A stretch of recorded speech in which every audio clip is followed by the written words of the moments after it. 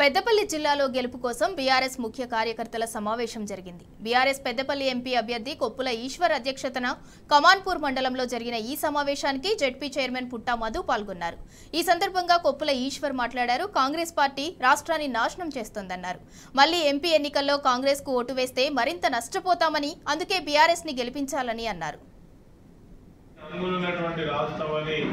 అతి తక్కువ సమయంలో చేసి చూపించి ఇగో ప్రభుత్వం అంటే ఇట్లా ఉండాలి. ఆ మనసులో ఉంటే ఆ ప్రభుత్వం మనసు పెడితే ఎంత గొప్పగా చేయొచ్చో. చేసి చూపించినటువంటి నాయకుడు మన కేసీఆర్ గారు దానిలో ఎటువంటి అనుమానం లేదు.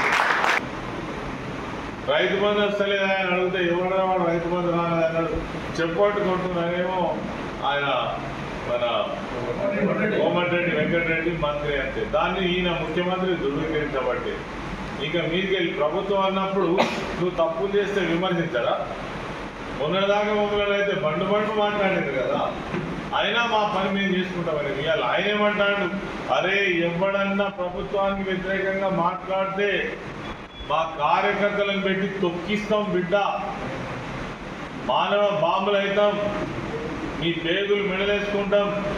మీ కనుగుడ్లు వీటి గోళీ ఆడతామని ఒక ముఖ్యమంత్రి అయినటువంటి మాట్లాడతామా? వీధి రౌడీనా లేకపోతే ముఖ్యమంత్రి మనకి అర్థమైతలేదు. టీఆర్ఎస్ రావద్దా వెళ్ళిపోవాలి. అంటే నేను ఒక మాట ఏంటంటే ముఖ్యమంత్రి అయినా ఎమ్మెల్యే అయినా వీళ్ళు ఎలక్షన్ ఎలక్షన్ తర్వాత వీళ్ళు ప్రజా ప్రతినిధులు. ముఖ్యమంత్రి అంటే రాష్ట్రంలో ఉన్న ప్రతి ఒక్కరికి ముఖ్యమంత్రి. ఎమ్మెల్యే అంటే ప్రతి ఒక్కరికి ఎమ్మెల్యేనే. మాట్లాడచ్చు దాంట్లో ఇప్పటికి కూడా నాలుగు వేల క్యూసెక్ల నీళ్ళు సముద్రంలో కలుస్తున్నాయి గోదావరిలో పోయి దాన్ని పంపు చేద్దామని చూస్తలేరు. కాళేశ్వరం అంటేనే కేసీఆర్ కేసీఆర్ అంటేనే కాళేశ్వరం.